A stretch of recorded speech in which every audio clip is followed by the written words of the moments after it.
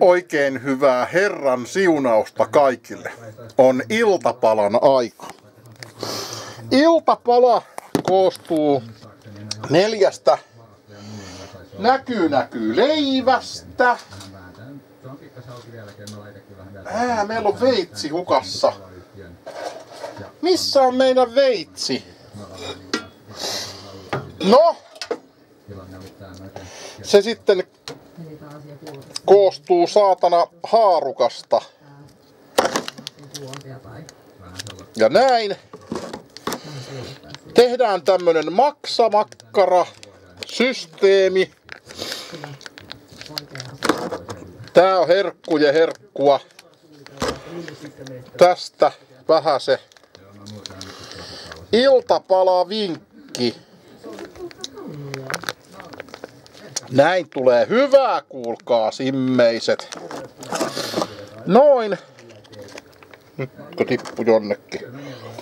Hei Rontti, mes nyt sinne hus. Nyt. Hus. Et mene sinne, vittu kun tippula. Mene sinne nyt, hus hus. Tää nimittäin... Tää nimittäin varastaa nää. Mut tippu maksamakkarapötkä tohon alas ja Rontille ei näitä sais antaa.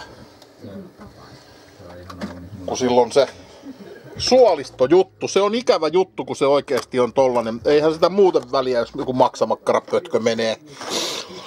Ei mitään väliä, mutta tässä tapauksessa ei ole niin väliä.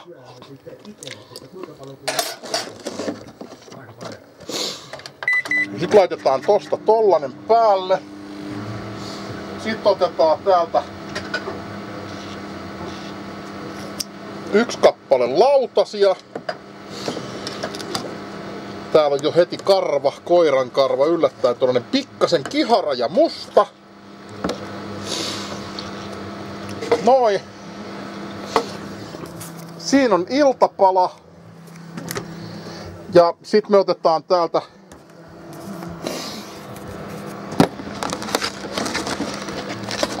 pikkasen maitoa. Mä suosittelen tällaista iltapalaa. Tässä on kalsiumia ja Mut muistakaa sitten ihmiset, että tota, älkää syökö hirveän ahneesti, niin kuin minä tässä nyt teen. Nimittäin siitä tulee paljon näitä metaanipäästöjä ja kaikkihan tietää, että se aiheuttaa kasvihuoneilmiötä. Että älkää ihmiset piereskelkö.